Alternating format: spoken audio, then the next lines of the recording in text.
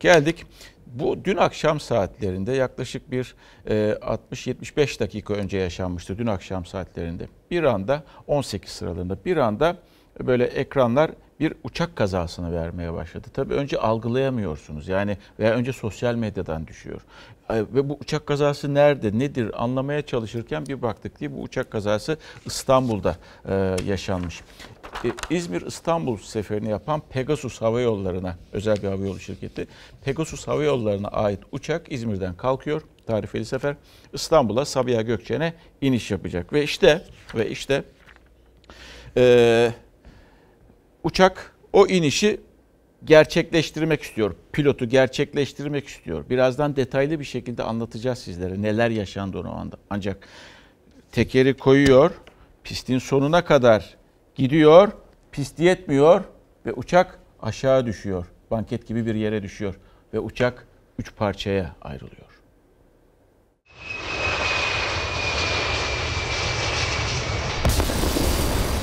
Akşam 2 saniyede 3 saniyede oldu. Hı hı.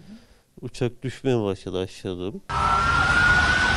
Uçak pistten çıkıp toprak alandan aşağı doğru sürüklenip parçalara ayrıldı. Üç parçaya ayrıldı uçak. İstanbul'a iniş sırasında kuvvetli rüzgarı arkasından aldı. Duramadı, pistten çıktı. 30 metre yükseklikten düşüp parçalandı. İkisi bebek, 177 yolcu vardı Pegasus'un uçağında. 6 da mürettebat. 3 yolcu yaşamını yitirdi, 180 kişi de yaralandı. Sizden önceki trafiğimizde pas geçti.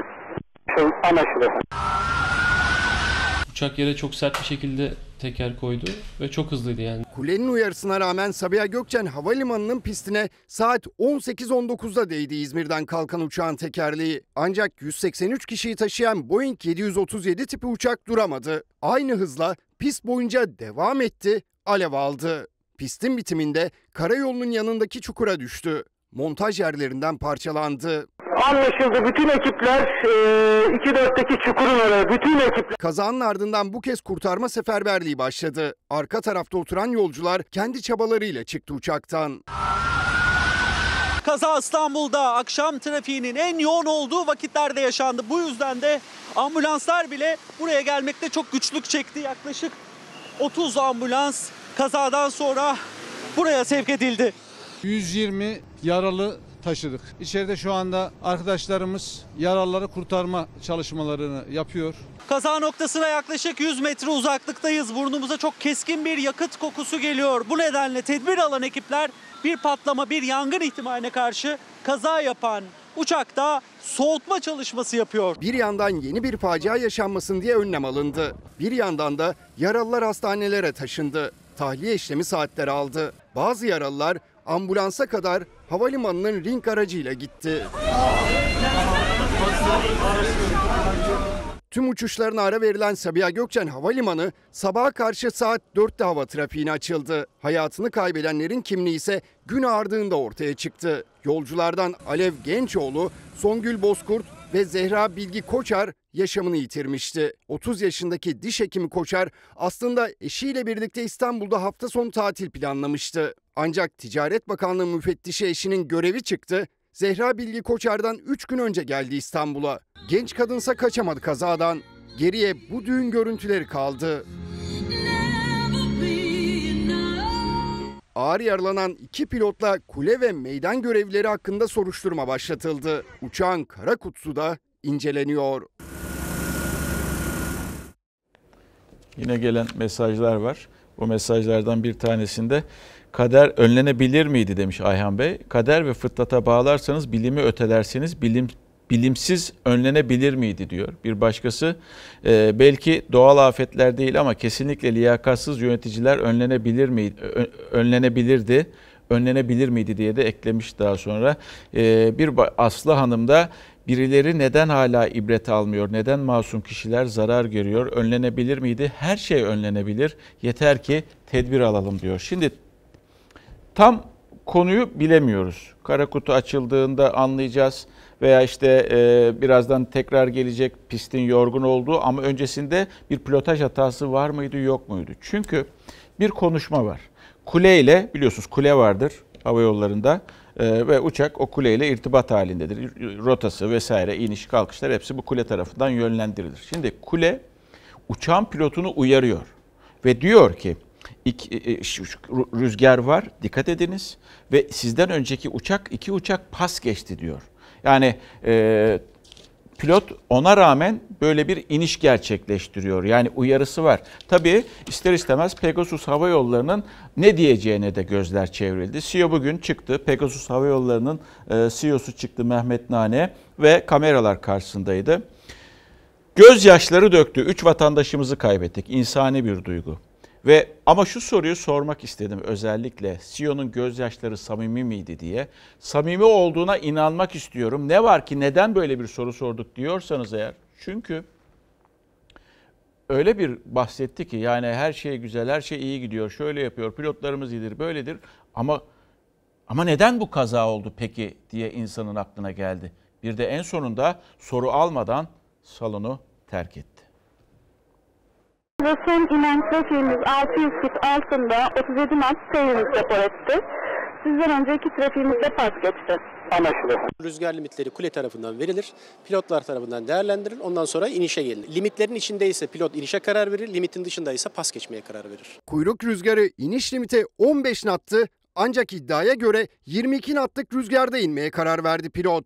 Hem de kulenin önceki iki uçağın pisti pas geçtiği uyarısına rağmen 3 kişinin yaşamını yitirdiği uçak kazasında son sözü kara kutu söyleyecek ama pilotlar da soruşturmanın odağında. Pegasus Genel Müdürü ise kuvvetli rüzgara rağmen inişteki ısrarın şirket politikaları olmadığını savundu. tüm pilotlarımız risk almamaları, stabil yaklaşım yapmaları, risk görüyorsa pas geçmeleri, gerektiğinde yedek meydana devam etmeleri için teşvik edilirler. Kazayla ilgili ihmal iddiaları çok tartışılacak. Çünkü kaza yapan uçakla aynı firmaya ait bir uçakta bir ay önce yine Sabiha Gökçen Havalimanı'nda pistten çıkmıştı. Sabiha Gökçen Havalimanı'nda pistten çıkan uçağa ilişkin ihmal iddiaları rüzgarla da sınırlı değil. Çünkü aynı firmaya ait aynı tipteki yolcu uçağının son iki yılda üçüncü kazası bu. Uçaklarla ilgili dizayn veya e,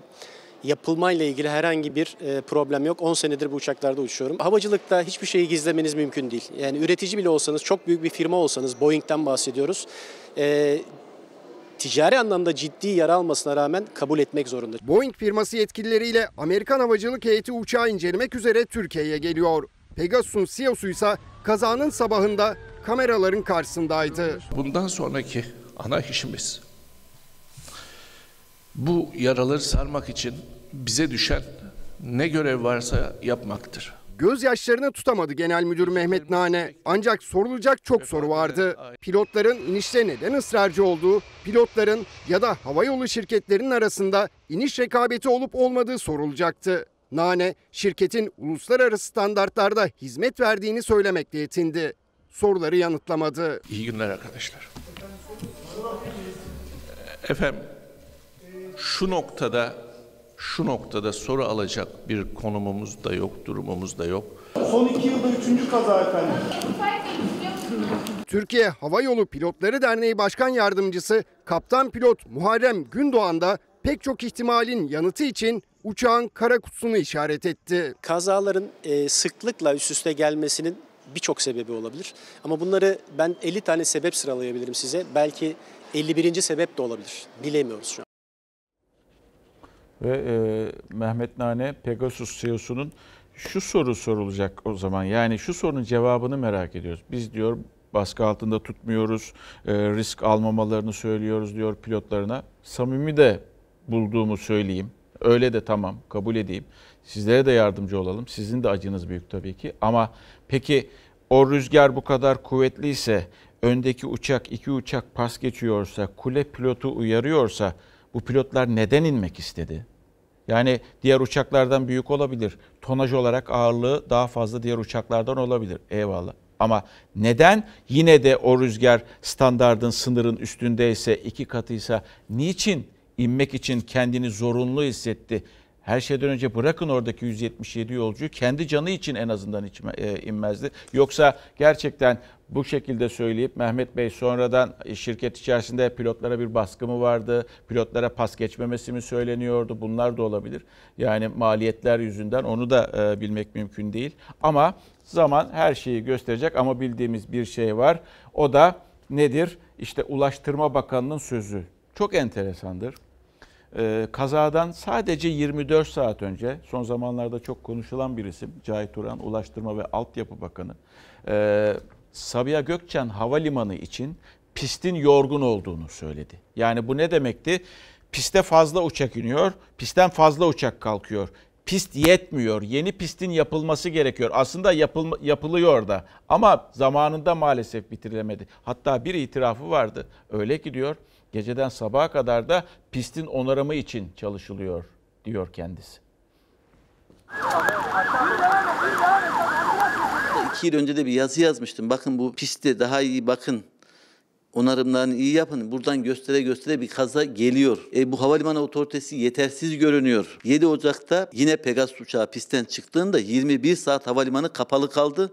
Sırf uçağı kurtarmayı beceremedikleri için. Hem iki yıl hem de çok değil bir ay önce. Uzmanlar uyardı ama bu kaza ihmallerin önüne geçilemediğinin fotoğrafı oldu. Piste tutunamayan yolcu uçağı duramadı, pistin sonundan aşağı düştü, parçalara ayrıldı. Tek sorumlunun soruşturma başlatılan pilotlar olup olmayacağı tartışılırken kazadan 24 saat önce konuşan Ulaştırma Bakanı Cahit Turan'ın sözleri gündeme oturdu. Sabiha Gökçen'in trafiği de giderek arttı. Tabi İstanbul'un trafiği giderek artıyor. Ee, Ancak Sabiha Gökçen'de e, bir pistimiz var. Bu pistimiz çok yoruldu. Pistin kabaran yerleri, su toplayan yerleri, patlayan yerleri varsa bunları onarıyorlar. Çünkü pist çok yoğun kullanılıyor ve tek pist olduğu için tamamen kapatma şansınız yok. Hemen hemen her gece piste bakım yapılıyor. Atatürk Havalimanı kapatıldıktan sonra daha çok tercih edilir olan Sabiha Gökçen Havalimanı'nda bu pisti kapatma şansı yok.